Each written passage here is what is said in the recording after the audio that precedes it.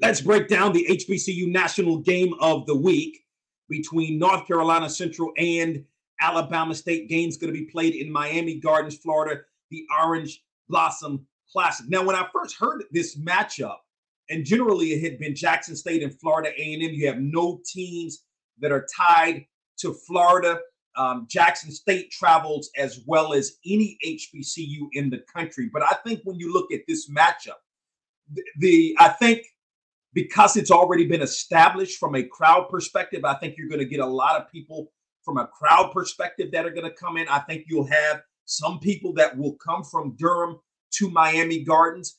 I think Alabama State's fan support is solid, particularly now with one of their own as the head football coach in Eddie Robinson Jr. So I think from a crowd perspective, this is going to be good. I think from a visual perspective, television wise, it's going to be good. You've got two excellent programs, one in which is just two years removed, meaning North Carolina Central, from being named HBCU national champs. The other, Alabama State, who on paper, in my opinion, may be the best team in all of HBCU football. So let's break this thing down. Let's start with North Carolina Central's offense. Um, you had an all-star quarterback, Davius Richard, uh, one of the best players when it's all said and done, I think will be one of the best players in the history of HBCU football. When it's all said and done. Uh, but Walker Harris is now the quarterback. And this was named early, okay, early on. Uh, Trey Oliver said, This is our guy. He played in some, he played in, a, I think, nine, minimum nine games. He may have played in all the games last year, but he had a lot of experience, five touchdowns to no interceptions on last year. Did some really, really good things. Uh, North Carolina Central, obviously high on him. He's got a guy like a Joaquin Davis, wide receiver coming back. J'Mari Taylor at the running back position, the offensive line should be solid. We'll see if there are enough weapons, and we'll see how good, okay, how good really that uh, that um, that that offense really is for North Carolina Central. When I look at Alabama State, okay, and uh, from a defensive perspective, and I want to break it down sort of this way. Um, boy, that's a really, really, really good defense.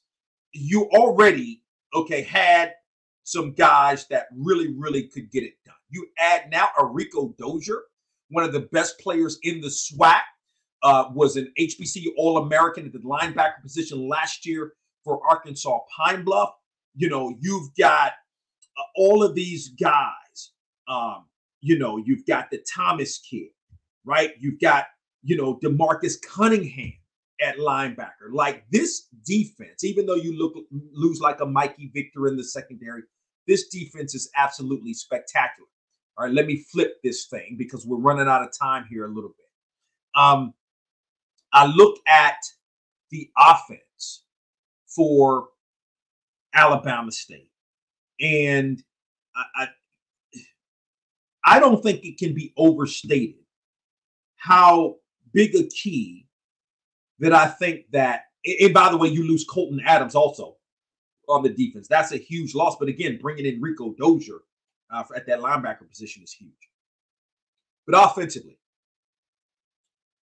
Andrew Body, the quarterback for Texas Southern, brings so much to the table. And when we had a chance uh, to talk, uh, of course, with Eddie Robinson uh, in the last segment, uh, you know, he talked about, well, yeah, you know, Andrew Body's good, but we've got another guy that's right there with him. Both of those guys have been competing. So, but in any event, Andrew Body can throw the football. He can run the football, put up a lot of numbers. He was just not on a very good Texas Southern team on last year. I think with the running situation, uh, should be pretty solid. Um, and that offensive line should be pretty solid also for Alabama State. When I look at North Carolina Central from a defensive perspective, look, only four starters returning. Some other guys are going to step up. I'm going to really have to step up. But I think it's an excellent coaching staff from a defensive perspective. Um, you know, Trey Oliver is a defensive minded coach. So I think that the defense overall throughout the course of the season will be good. We'll just have to see how good it's going to be in this football game. It's going to have to be very, very good in this particular football game, first game of the season for both teams. I would also make mention that North Carolina Central is five and one since 2021 is five and one in nationally televised games. I don't mean streaming games. I mean on games that are on cable or are on national television or network television, as it were.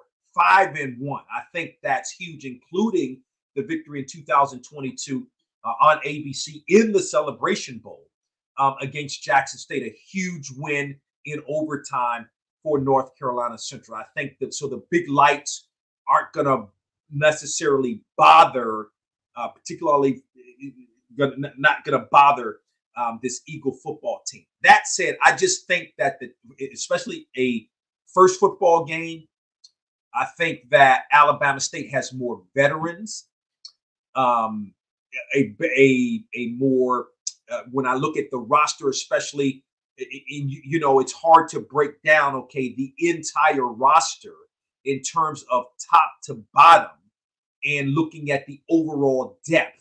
That's difficult, is because you got new guys coming in. There's going to have to be some cohesion, and I'm talking about both football teams in this respect. But when you talk about the first 11 on either side of the football, I think Alabama State has the advantage right there. And I think that will show in this football game, uh, in the Orange Blossom Classic. I think it's going to be a good football game. I think it's going to be a close football game.